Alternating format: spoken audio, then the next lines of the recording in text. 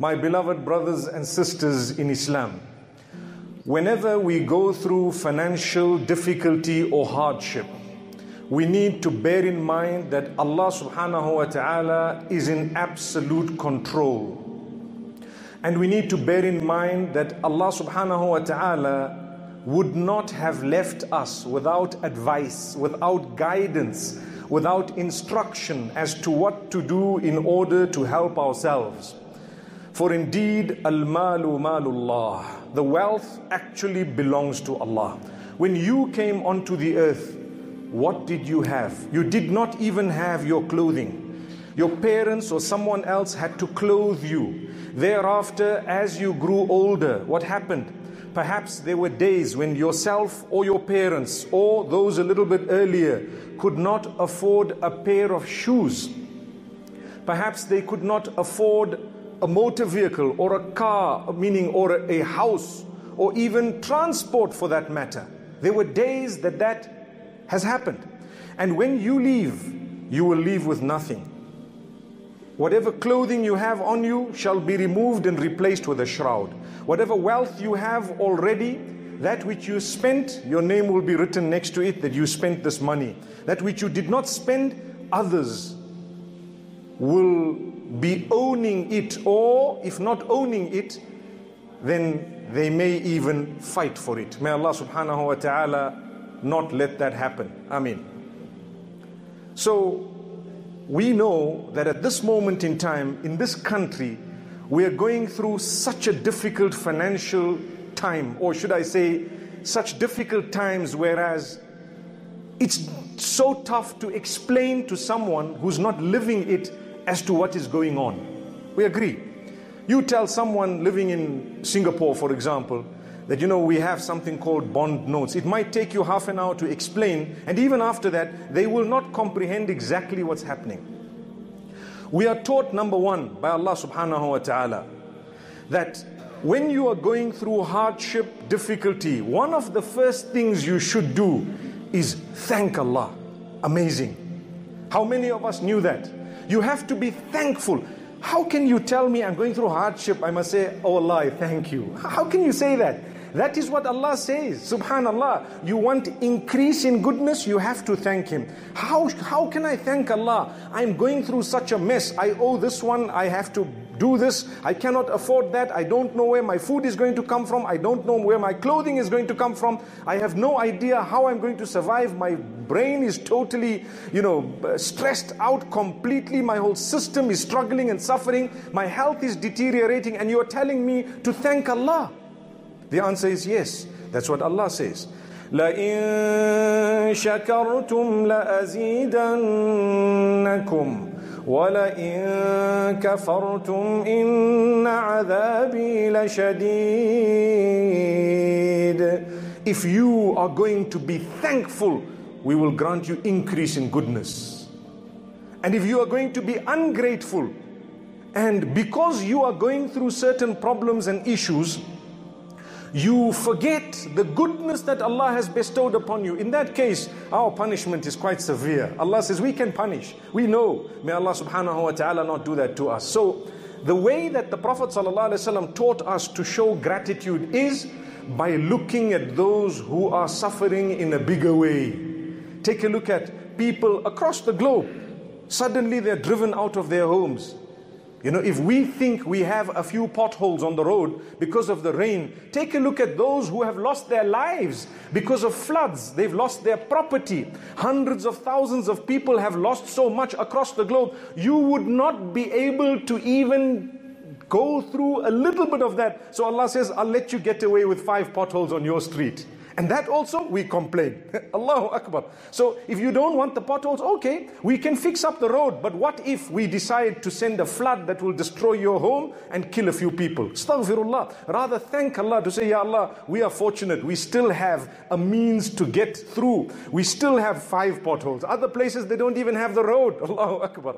So this is the teaching of the Prophet ﷺ. Remember, my brothers and sisters, we cannot stress it enough always look at those who are struggling more than you are.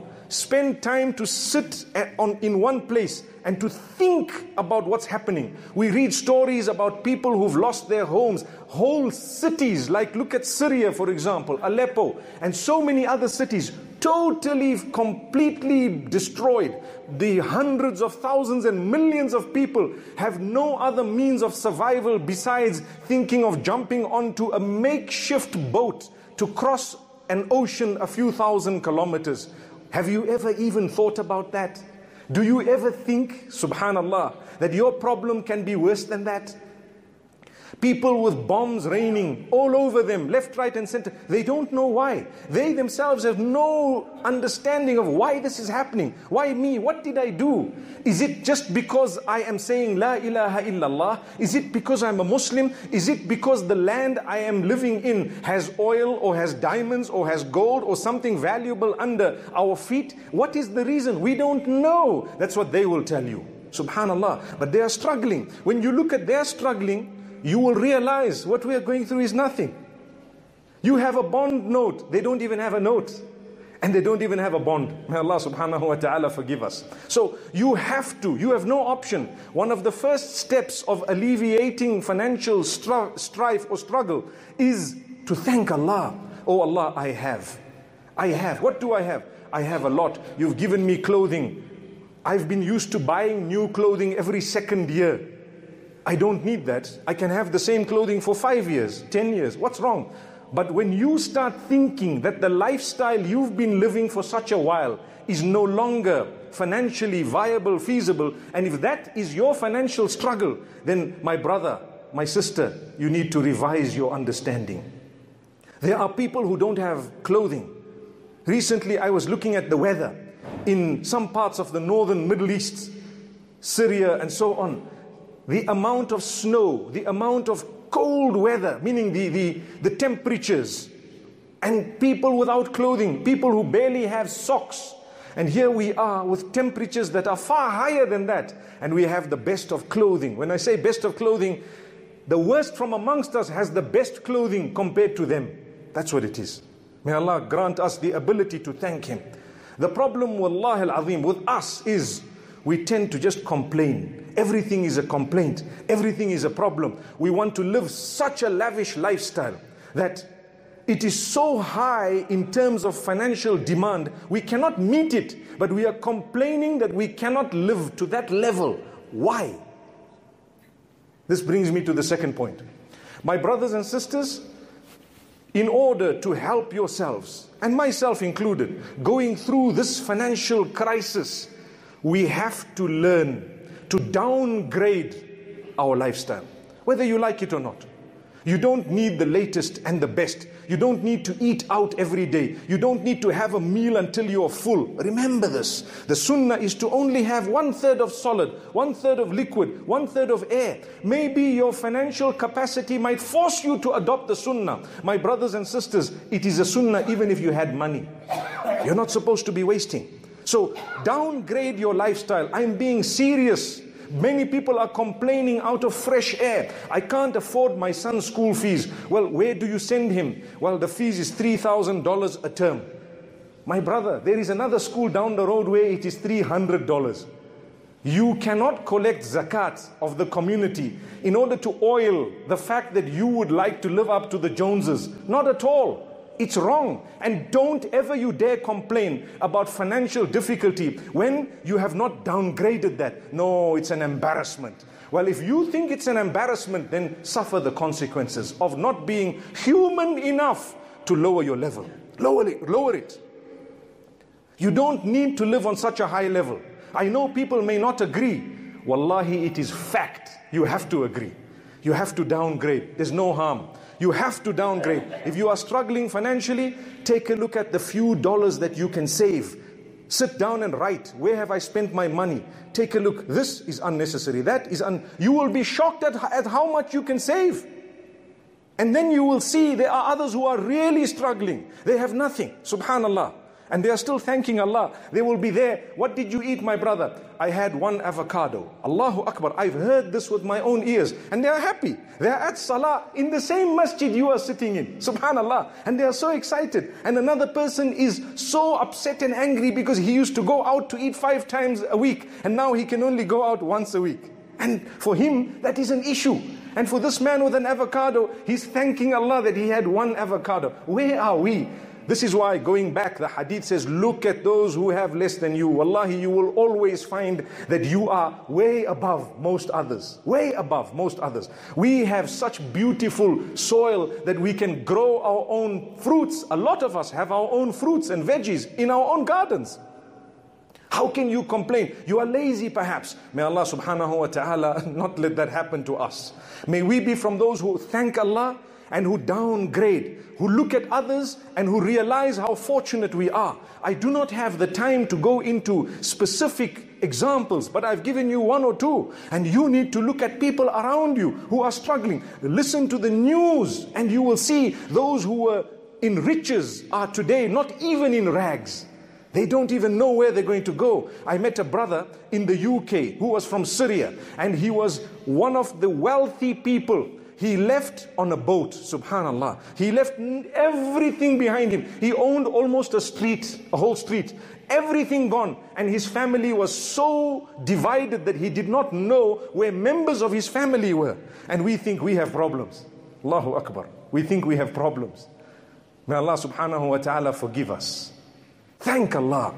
I'm repeating again. Point number one when you have financial difficulty and any other difficulty, the first point you do, thank Allah. Many of us think, you know what? We would start, but not with thanking Allah subhanahu wa ta'ala. Then, thereafter, my brothers and sisters, seek the forgiveness of Allah. That is very important. Seek the forgiveness of Allah to ensure that what you're going through is not a punishment, but rather it is part of the test of Allah. Life is a test. You have to seek the forgiveness of Allah. Why? Because Allah says, وما كان الله معذبهم وهم يستغفرون Allah will not punish them while they are seeking forgiveness. So if you are seeking forgiveness, even what was the punishment of Allah will be converted to a test. Seek the forgiveness of Allah. Look into where you have gone wrong. If I am struggling, I need to ask myself, what did I do? Did I eat interest? Did I usurp the wealth of someone? Did I cheat and steal? Did I harm someone? Did I hurt someone's feelings? Have I usurped the rights of someone? Did I swear, backbite? What wrong did I do? Search yourself, introspect. You have to. When you come to the ulama, they will tell you, No, my brother, don't worry, it's a test from Allah. Yes, that is their duty to tell you. But you need to know yourself, search your life. Seize that as an opportunity to become closer to Allah because we are taught that whenever you have a test and that test brings you closer to Allah, it was actually not a punishment, it was just a test. If I'm going through hardship and that hardship brings me into the masjid, wallahi, that was a test, that was a gift of Allah. But if I'm going through hardship and I start questioning Allah, that brings me to the next point never question Allah. Ask Him, Pray to Him, make tawbah to Him, thank Him, but don't question Him. Don't say, Oh Allah, why me? Why you? There are others who have gone through more than you. Do you want us to give you something bigger? Do you want us to show you if we wanted to fix you what exactly we would have done? Perhaps that can happen. So Allah says, Don't say why you. When you came on earth, your test, you came here to be tested. You, a test is like an examination paper. The questions on your paper were already set. You cannot change them. So stop saying, why you? These are your questions. These are your questions. Answer them to the best of your ability. Then you shall die and get the result of your examination. Simple. Why don't we look at it as that? We say as Muslims, we have come to this world or to the earth in order to be tested, right? We all believe that. The Quran says, and it's a fact, as you grow older, you realize how true that is. So if I were to go to school and to write a test, what happens? Can I, after the invigilators have handed out the papers in the exam room, and I look at the test and I say, hey, you know what? I don't know the answers here. Why me? Why me? Give me another one here. You cannot do that. You have to try your best, even if you don't know the answer. The most the invigilator will tell you is listen, try and answer all questions. Don't leave anything blank. You, you may not know. I'm sure we've heard that, right? They say don't leave blanks. Answer it, no matter how. Try, attempt it. That's what Allah tells us with our tests. You're going through financial difficulty. Come for salah. Fulfill your salah on time. The owner of the solution to your problem is in the masjid. When I say in the masjid, I mean you can get closer to him in the house of Allah. That's what it is. Pray on time. You must enjoy prayer. Cut out everything. I recently came across a wealthy person. And in the masjid, someone told him about his business. Do you know what he said? He said, My brother, I don't want to talk about business. This is me and Allah. Please don't talk to me about this. I want to go in and concentrate. Subhanallah, I was surprised just listening to this. And I said, Look at people, when they come in, they know this might be my last salah. Success is not how much money you have. Wallahi, success is whether Allah is pleased with you or not. When you get Jannah, that's it. Even if you had nothing on earth, even if you walk, were walking around without a home, without anything, no problem. Allah is happy with you. You can be of a far higher level than those who had a lot. It's possible. May Allah subhanahu wa ta'ala grant us understanding. Imagine you come into the masjid, you've cut off completely. You go into sujood, it's just you thinking of Allah subhanahu wa ta'ala. How beautiful is that? This is why Allah says, يا أيها الذين آمنوا استعينوا بالصبر والصلاة إن الله مع الصابرين O you who believe, seek help, seek assistance through patience and prayer. For indeed Allah is with those who bear patience. And why does Allah not say Allah is with those who pray? Although it is correct, Allah is with those who pray. But he says, O you who believe, seek assistance through patience and prayer, for indeed Allah is with those who are patient. One of the reasons is you need that patience in order to pray as well. Subhanallah.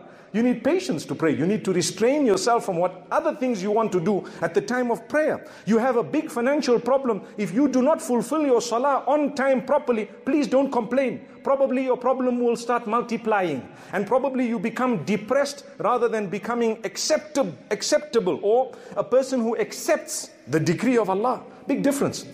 Allah says, when you get close to me, I don't promise you millions, but I promise you will be content. You'll be happy because you are with me. I'm with you. That's it. Amazing. So, what you have to do when you are going through a problem, go to salah. كان رسول الله صلى الله عليه وسلم إذا حزبه أمر فزع إلى الصلاة. The Prophet صلى الله عليه وسلم himself, when something was overcoming, when something was big, a huge thing came, he quickly hastened towards salah. And he fulfilled two units of prayer and he called out to Allah. Brings me to the next point. Call out to Allah. Make dua. We call it supplication. Keep on making a supplication. Your problem might not be resolved in one day, two days, one year, two years. But wallahi, if you continue with your patience, with your prayer, with your supplication, humble yourself, thank Allah for what you have, a day will come when you will receive such victory that you will be smiling all the way. That day has to come. After the darkest hour of the night, guess what you notice? Daybreak. Subhanallah after the darkest hour of the night, you notice the daybreak, the crack of dawn, and you start saying, Hey, mashallah, the night is over. Subhanallah. The same will happen to your problems, your issues. The more problems you have, the closer they should bring you to Allah. You get close to Allah, you get used to this. A person who had a problem with his hand and they amputated it. Wallahi, if your hand has been amputated, your leg has been amputated, may Allah make it easy for those whom this has happened to. Those who, whom this has happened to have fallen into a few categories. I want to make mention of two of them. One is those who are depressed because, hey, I lost my leg. I lost my leg. I lost my leg. I don't know what to do. I lost, my, it's amputated. Now look, I don't have a leg. What's going to happen to me? How am I going to walk? What? All those questions are, are there. But can I tell you what a mu'min will do? He doesn't have a leg. Now he goes, he thanks Allah, at least I have one other leg. He thanks Allah, at least I'm living. He will go to seek some medication. They might make him an artificial leg. He starts walking until there comes a time when you will see him walking. You won't even know this man don't have a leg. Subhanallah. Why? He's thankful to Allah. He walks and he, what did Allah do for him? As a result of his positive attitude and his gratitude to Allah, Allah gave him contentment without the leg. Subhanallah. Amazing. But the same problem in another person who just continue to complain, what will happen? He becomes depressed. He now needs medication for psychiatric assistance or, you know, solution and so on. And he will not be happy up to the point of death. The other man is working, he's got a good job, he's driving, everything is happening. This is the same with us when we have our problems. Your marital problem, any other problem, social problem, uh, financial problem. Today we are discussing financial problems because we are all going through it. I don't think there is a single exception in our society and community.